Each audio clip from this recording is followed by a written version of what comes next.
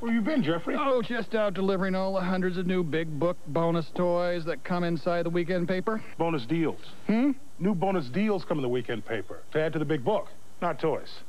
Oh, boy.